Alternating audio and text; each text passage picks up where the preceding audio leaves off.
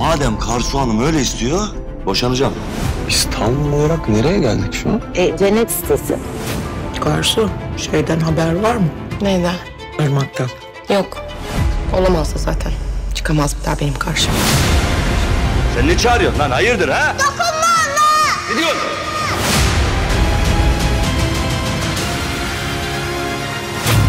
Ne işin var senin burada? Adnan beni evden kovdu. Bize ne bundan? Karsu lütfen. Ne demek lütfen? Lütfen. Karsu diye biri yok artık senin hayatında. Annen de yok. Tek başınasın. Git otelde kal. Gel.